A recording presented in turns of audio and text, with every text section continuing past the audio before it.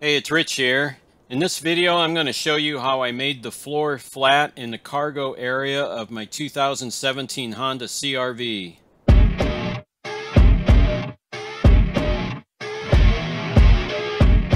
So I made a video about six months ago about how I sleep in my 2017 Honda CRV.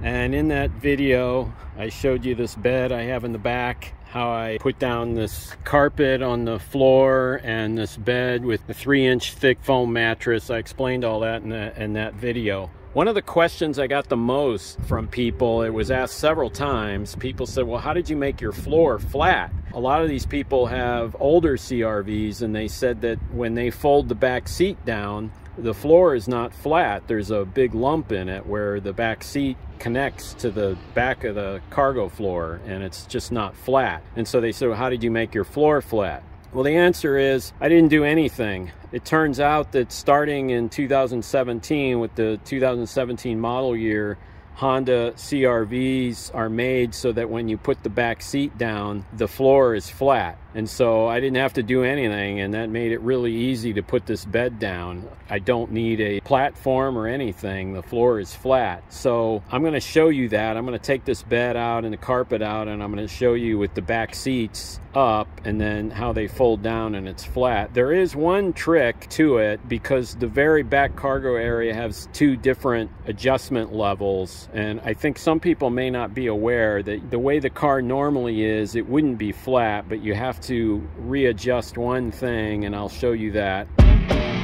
Okay, so I took out the foam mattress and my carpet padding and my carpet. It's all piled up there on top of the car. And I put the uh, back seats back to the, uh, the normal position where you can sit in. And so that's the back seat area. So we go back here to the cargo area and this is what it looks like. So let me fold the seats down now. And so that one's down.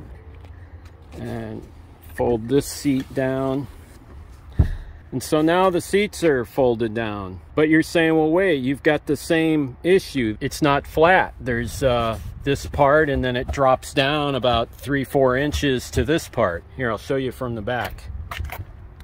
See it's uh, it's got the cargo tray here and then it goes up about four inches to this part of the floor and so that's a little bit like the older CRVs where the floor is not level. But there's still, in the newer models, starting in 2017, there's still one more thing you need to do to make the floor flat.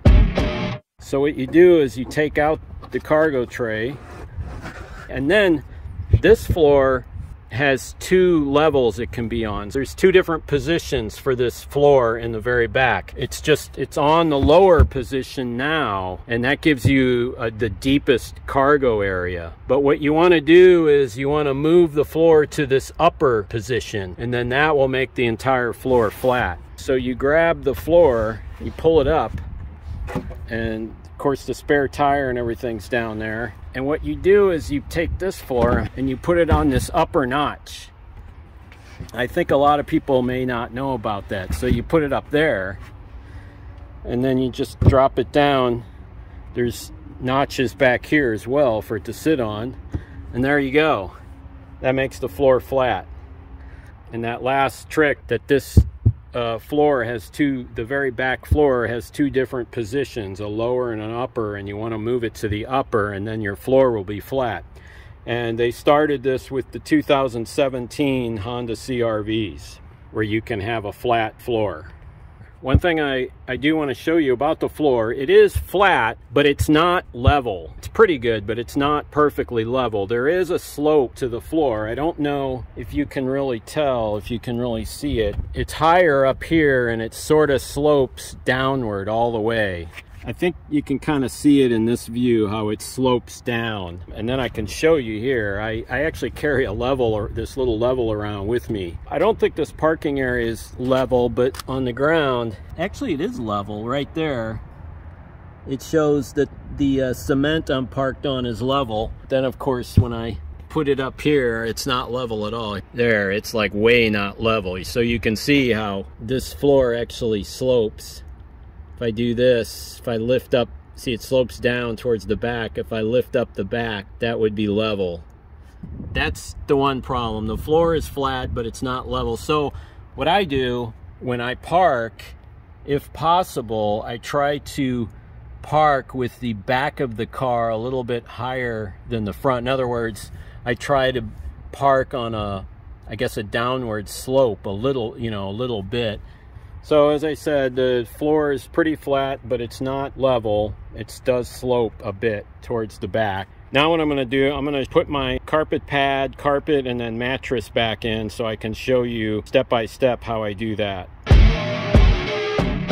So here I put my carpet pad down over the floor. Uh, there's the floor, the flat floor. Some of you may see that this carpet pad's actually upside down. It really should be the other way. I did it this way because this side is more like plastic and sealed. And then this is the bottom of the carpet pad and it, it tends to break apart on this side and kind of crumble a little bit. And I didn't want that getting ground into my factory carpeting. But what I want to show you is what I did. So this is one layer of carpet pad. And so the idea I came up with I told you that this whole floor slopes down. This is the low end and that's the high end. So I took additional carpet pad, three pieces, and what I do is I put one like this here, and then another one here, and then like this. So there's three extra layers of carpet pad here, but then one ends here, the next one ends here, and the next one ends here. And so what that does is it lifts up the back just a little bit higher. It makes the back of the bed, I sleep with my feet at this end since this is the lower end. I tried to lift it up a little bit with some extra pieces of carpet pad. So here there's a full three layers. And so that way it sort of makes a slope here to lift up the back of the bed just a little bit. That's one of the things I do to try to correct for the sloping of this flat cargo area. That's where I put my bed on that side. There's kind of a drop off here. It changes pretty quick from here to here. I mean, this is wide enough to support my mattress. At any rate, I have these extra pieces of carpet pad. I just kind of put one here to kind of make this slope down a little bit more. And then as you can see up here, there's kind of a little gully here in where it's not flat, where this is higher here and then it slopes down to here under my mattress. So I keep these uh, little pieces too over there. I put two pieces like that for that area. That's where I'm sleeping. And then there's a little area over here where it slopes down and so I put that and I just kind of do that under my carpet. It, it does help. It kind of looks weird right now like it may make the carpet lumpy but the carpet's kind of heavy enough that it, it does kind of level out the carpet. So now I've got the uh, my carpeting back in over carpet pad. You can see my extra layers of carpet padding, how it makes that side of the rear a little bit higher it does kind of come down, slopes down here. And um, there's ridges, like I say, where the extra pieces of carpet padding make the back a little bit higher than it was since it slopes down. And if I use my level, you can kind of see that over that ridge, it is level. Actually, that's level there. So it does help a little with the extra pieces of carpet padding towards the back. I mean, it's kind of a stair step level. I mean, there it's it's actually level again there. It's better than I thought. So it kind of lifts up the back to try to make the floor a little more level. All right, let me put the uh, foam mattress in now.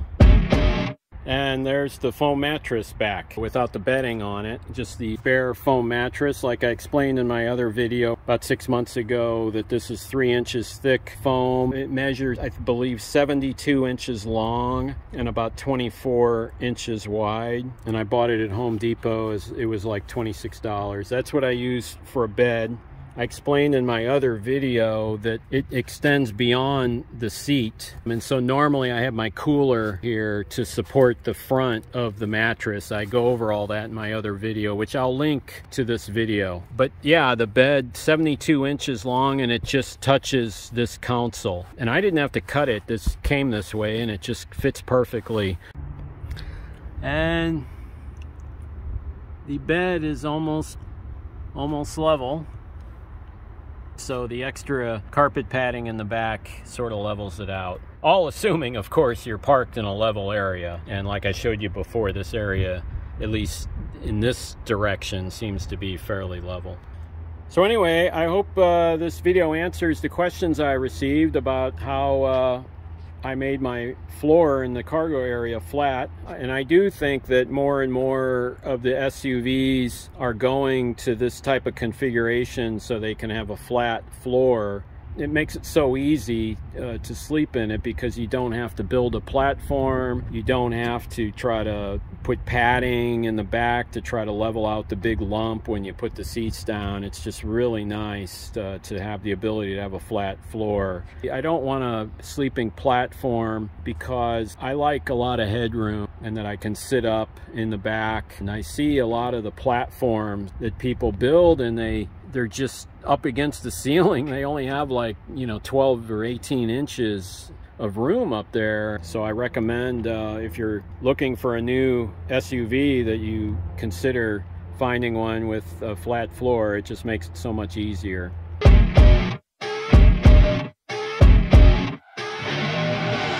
I see rolling up black Cadillac, high heel boots, and a sexy body So that wraps it up for this video.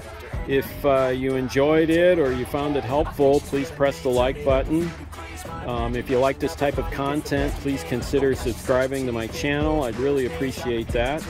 Thanks again for watching, and I'll see you in the next video.